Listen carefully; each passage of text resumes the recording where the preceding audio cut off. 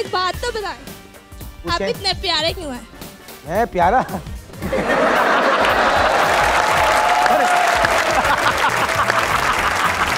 ये मैं एक्सपेक्ट नहीं कर रहा था।